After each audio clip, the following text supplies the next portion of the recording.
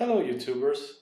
This time I want to make a quick video of an interesting item I bought to my collection of uh, pipe smoking.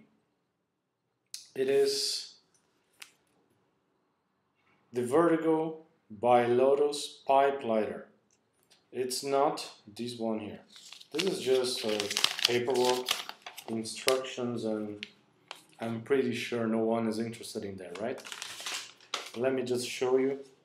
Uh, after work today, I decided to to go to the tobacco shop on the way home, and I saw this beautiful lighter there that comes in this uh, nylon case, well constructed, and this is the lighter.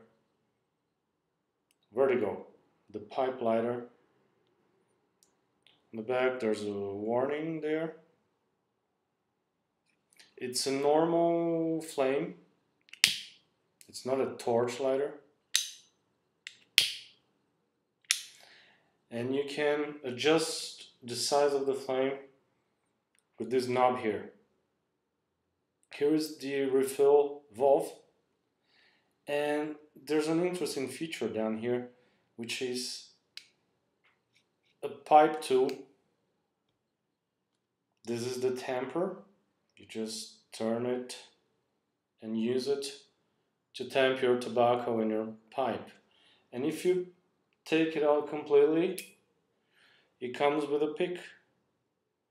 So you can clean your pipe from the ashes. So it's a very interesting new item that I'm going to be using on a daily basis to smoke my pipe. So that's it. I hope you guys enjoyed the video and as always, thanks for watching. See you next time. Bye bye.